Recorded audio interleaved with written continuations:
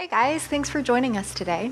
I'm going to be doing a massage for the lovely Jessica, and we are going to be doing a neck um, massage with a lot of relaxation as well. I like to combine um, deep tissue with lots of relaxation. So, I'm going to go ahead and just dive in with my oil today. Um, I really like using oil and lotion. Um, both are kind of just have different, you know, they just feel different. Um, but today I'm using oil. So I like to, um, so I usually do this with my hands to warm up my hands because they get cold. And I also um, do this to ground myself, like in the present, if I'm feeling distracted from my last client or whatever, I just kind of center, get ready so that I'm able to start fresh. And I like to breathe into my feet too, just make sure I'm nice and grounded before I start. And also, I like to check in with um, my body, make sure I'm starting with a nice, tall posture, long spine. And I like to go in nice and slow so, um, if I'm doing neck work, I really like to do some work in the pectorals. If I'm working on a new client, like obviously um, you need to communicate beforehand if you're working on the pectorals and you want to start up a little bit higher um, just to kind of get your client comfortable with your touch and um, as you communicate, you can get into these um, deeper pectoral muscles. So, what I'm going to do is um, I'm just using a light to medium touch and I'm just warming up everything. So, before um, I ever do deep tissue, I work on the the soft tissue first because it just feels better and gonna be more successful and really offering a true release in that muscle tissue.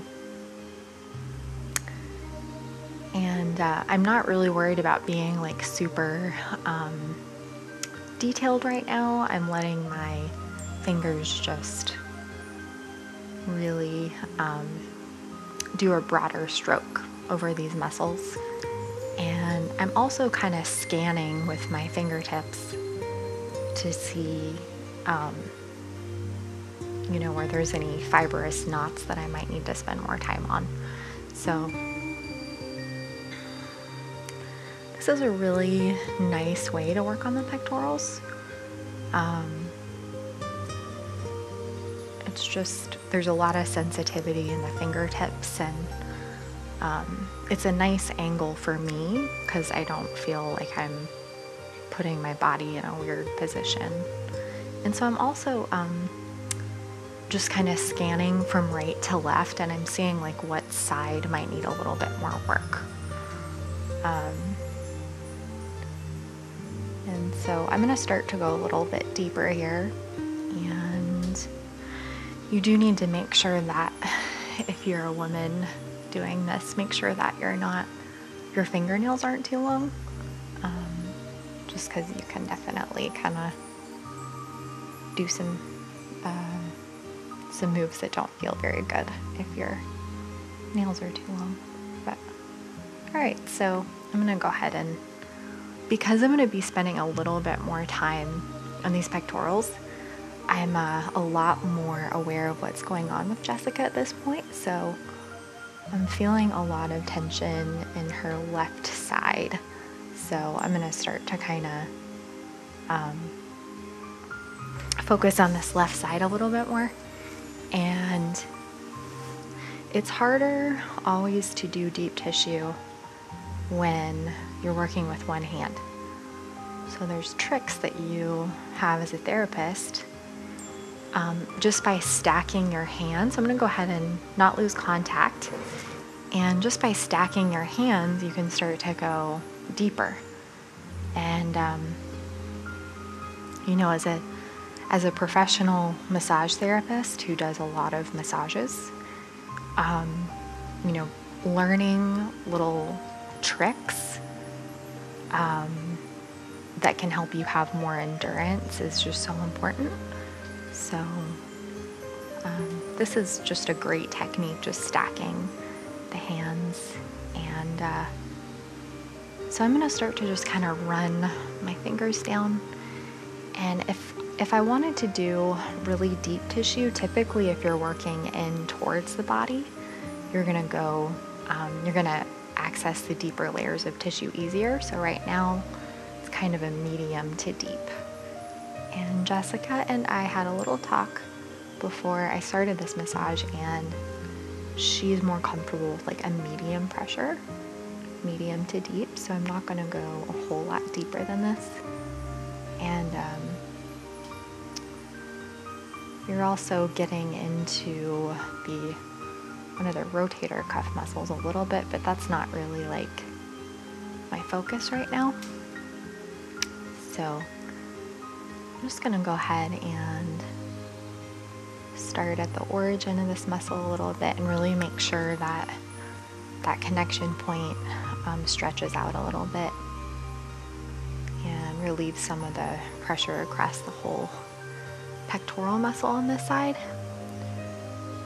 So, um, and really paying attention to Jessica's body language. If her shoulders are starting to lift, or I see her kind of wincing her in her face, like there's just you know signs that you're going a little too deep, maybe. Um, so just kind of always checking in with how your client's responding.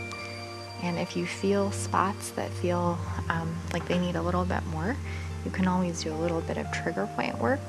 So, like I said, just um, working your way in towards the body is a way to go deeper and do some trigger point that's really effective. Um, and this is also a really important place to not have super long nails if you're doing this kind of work. So, Sometimes, if the pectorals are really um, contracted, they can feel kind of bouncy. And so, I would never begin a session with this trigger point work because I would be kind of like um, wasting my, my energy. Like, whenever I go in for deep tissue, I want to make sure that I'm on the right spot and that my client's ready for it so that it's like a worthwhile experience for me and for them. And so, yeah, just taking my time here. And I always like to end with something that, um, you know, just feels nice. I like to make nice with the muscles after I do deep tissue on an area. And so I already know that I'm not going to be spending as much time on the right side. Um, so I always start with the side that's tightest if I have a pretty good idea of what's going on And sometimes I'll be like surprised in what I find on the opposite side, but I think just uh, as a therapist, like if you have instincts about what's going on with someone, um, really trust those because it's really easy to overthink. And um, I just um, am able to be a lot more helpful when I don't overthink what I, the work I'm doing for my client. And uh, so, yeah, doing the same type of routine on each side. Um, I would never do that work on the left without doing some something somewhat similar on the opposite side.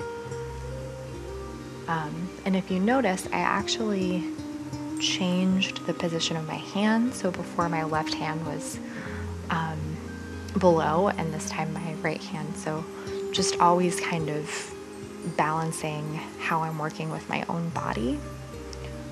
Um, I find that it's stimulating for my mind as well, and it kind of keeps me alert when I uh, don't just go on automatic with how I do things. So, um, I'm not going to spend a whole lot of time here, like I said, but I do feel a few spots where I'm going to go a little bit deeper, and I'm to start to just work my way in.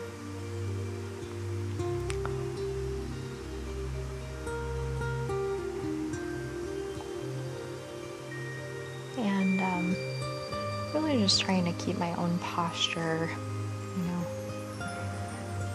nice and tall. I'm not hunching over too much.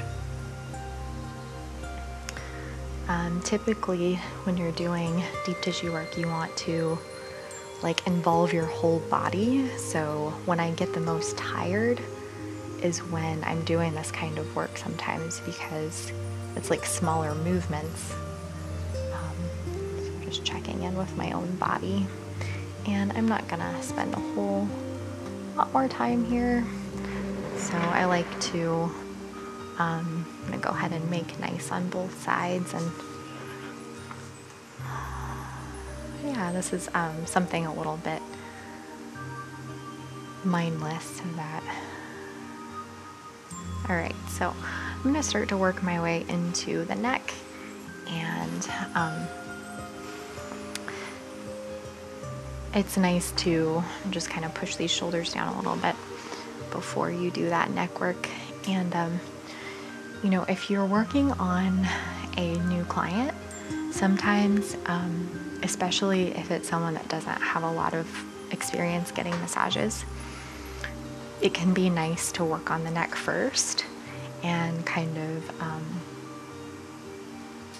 like, you know, standard approach to massage is you don't want to initiate conversation with your client very much, but sometimes I break that rule and I find that um, doing, you know, engaging a little bit with a new client really helps them feel more comfortable.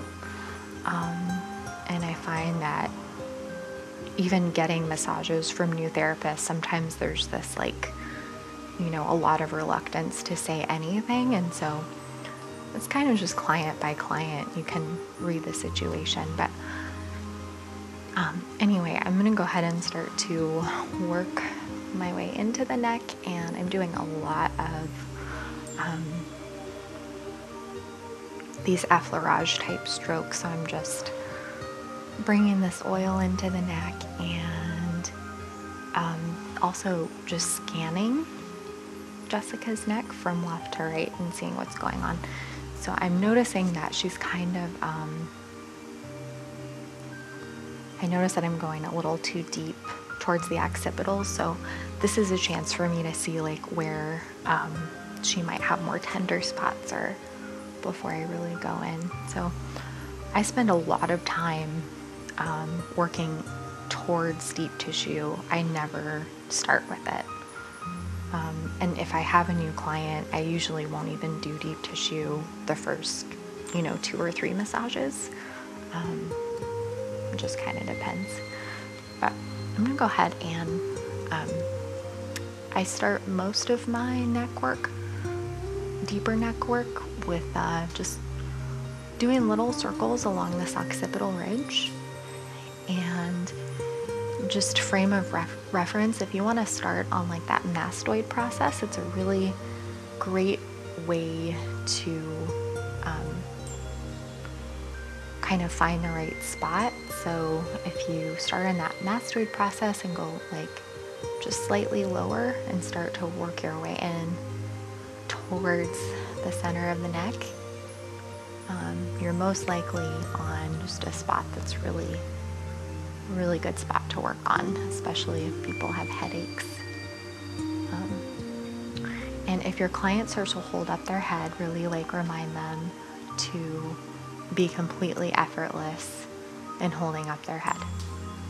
And um, I find that if I am working on someone like people that I work on like midday, um, have a harder time relaxing.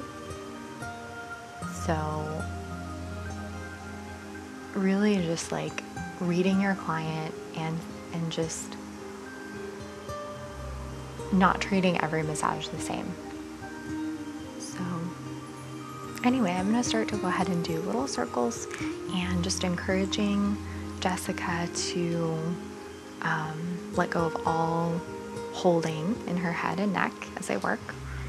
And I'm actually feeling a little bit of inflammation around the mastoid process here. Um, not so much that I wouldn't work on it, but I'm gonna go ahead and just work on this area a little bit. And um, I'm not really, you know, you, you don't have to, like when you're giving a massage, you don't have to be like, okay, I'm gonna do this two times and then three times. It's really like letting it happen organically. Because um, massages that that have a more mechanical approach, I just don't think feel as good and they aren't really as effective. So I'm gonna go ahead and just take my time here. And I really like to um, start in that spot and then go ahead and work my way down. And um, also, I'm just kind of reading Jessica's body language and if she starts to lift her shoulders or um, just making sure that I'm using, um, you know, the right amount of pressure. And keeping in mind that Jessica wanted like a medium to deep, she doesn't want a super deep massage. And I find that that's another mistake that therapists can make sometimes is being a little overbearing and kind of deciding what their client needs.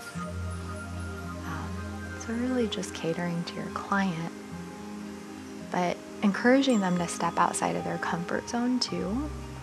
Um, that's a big part of getting massages if you want um, to work on more chronic issues.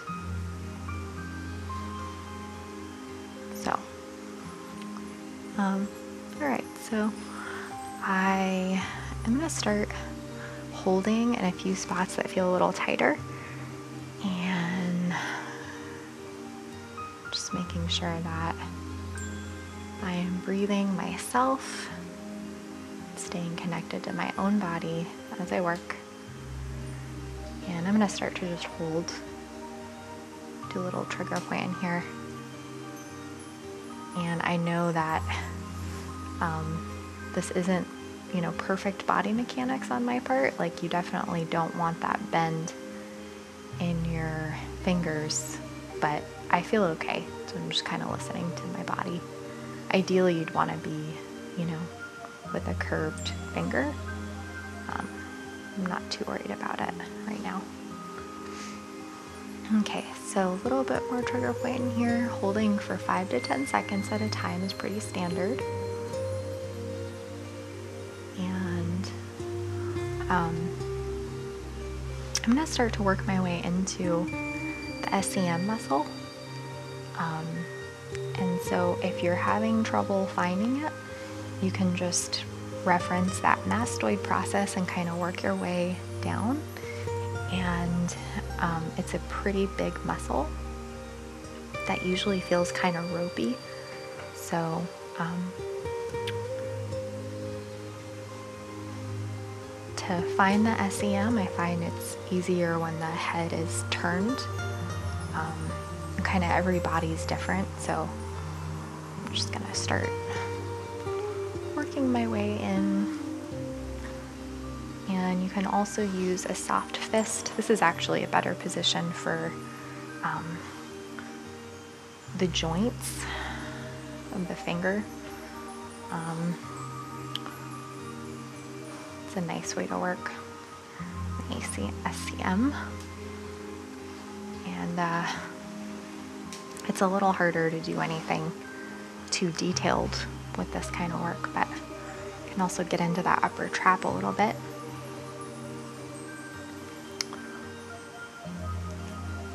So I'm gonna go ahead and um, do a little bit of uh, more detailed work with my thumb. So I'm gonna go ahead and make sure that I'm coming in at a nice angle. And I'm just gonna make sure that Jessica's not her, holding her head at all. Um, anytime that she would be lifting her head, this SCM muscle is to automatically contract a lot more than it normally would. So I'm just going to go in with my thumb. Okay, so I'm going to do a little bit more work here. um, in this SCM, and I wouldn't say this is the most fun um, kind of work to have done, but it's really healing for anybody who has headaches or who has had severe whiplash or anything like that. Um, so I'm just kind of taking my time here. And if someone wanted um, super deep tissue, this is a great position to be in to, to trigger point on the SCM.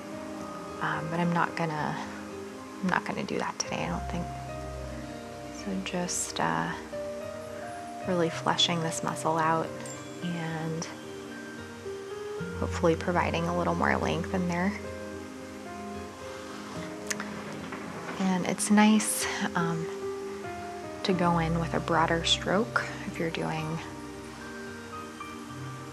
if you're doing that more detailed work.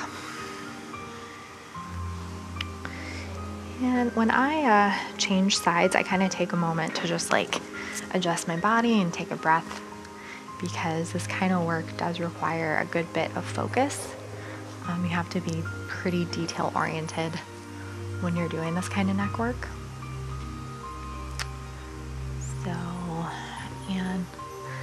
This side actually feels a little bit tighter. Um, anytime that something feels swollen or inflamed, it's a sign that um, you probably shouldn't go super deep. And it's an important thing to communicate with your client. Um, you know, ice packs are great for any sort of inflammation. So I might encourage my client to do an ice pack when they go home if there's a spot that feels really inflamed.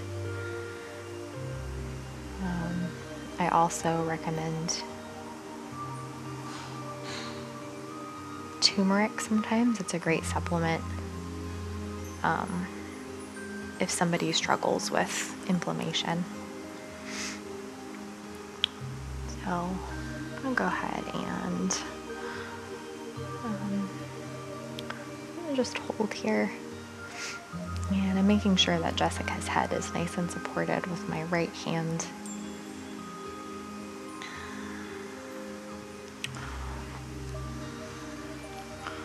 And I'm to start to just work my way in. I'm not as focused on the scalenes today. I am more focused on the SCM. And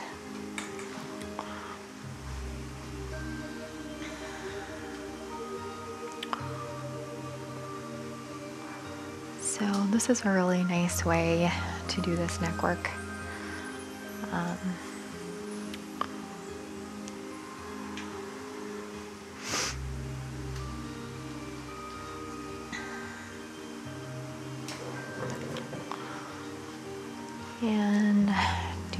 a little more detailed.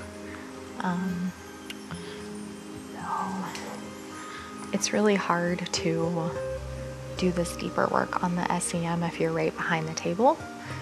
So I'm just making sure that I'm at a nice angle to work.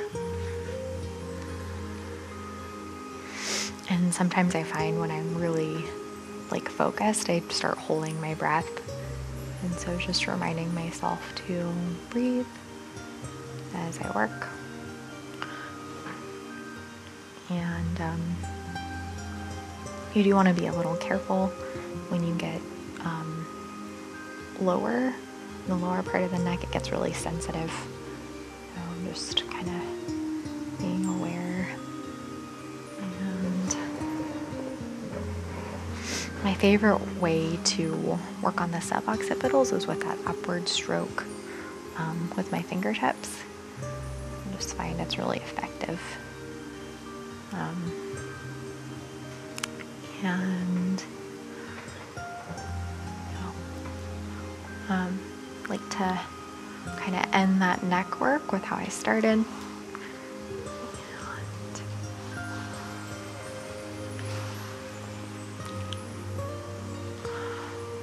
And before I forget, I just want to thank a few of our patrons. I'd like to thank Rigo, Michael, and Matt.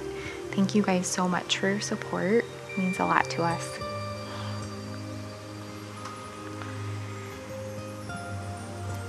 So I'm going to do a little um, stretch for the neck. So I'm just kind of scooping my fingertips and shaking the head a little bit. And um, because I did you know, some deeper work, I always like to end with something that is more relaxing. So um, if somebody has long hair, it can actually feel really nice to do just some really soft hair pulling. Um, and everybody has, you know, preferences, but there's so many nerve endings on the top of the scalp that just by um, doing this light hair pulling, it's a great way to stimulate those nerve endings and usually feels really nice. Um, some people like, you know, even even harder if you just kind of communicate. And some people like really soft. So um, there's a lot of tension usually in the temples, so you can actually grab hold of that hair like closer to the temple encourage that release in there. And I'm gonna go in with some scalp massage. And it's a lot easier if you're trying to do this with my hands floating is a lot harder than if my hands are resting or my wrists are resting on the table.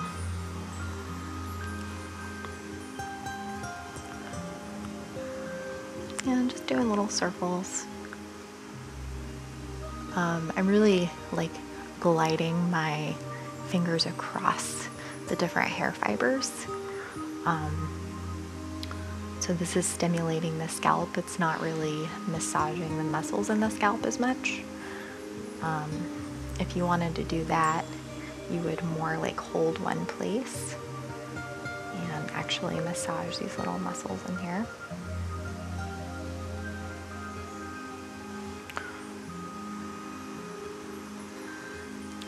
There are a lot of little muscles in the forehead and in the temple so as I kind of get closer, I'm going to start to um, really stimulate these these little muscles more. And it usually feels really nice if you can drag your fingers across that hairline. Um, I spend a lot of time on these temples And you know, if it is like the middle of the day and you're working on a woman who has makeup on, like always check in before you do this kind of work. Because um, I know that as women, we work really hard to look pretty and just want to check in.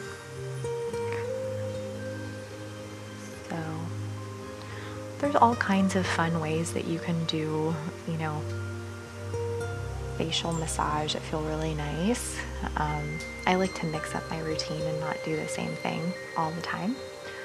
So, um, it's just really interesting because, you know, everybody's different. So, if I'm working on someone who's feeling really anxious, I would make a point to work a little more slowly and not um, yeah, it's just every massage is different.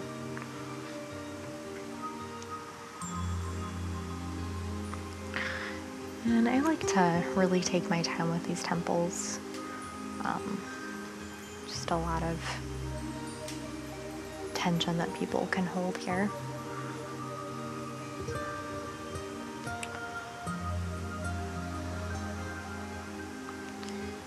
Again, I'm just, I'm not really counting like how many times I do little circles. I'm really just paying attention to how everything's responding.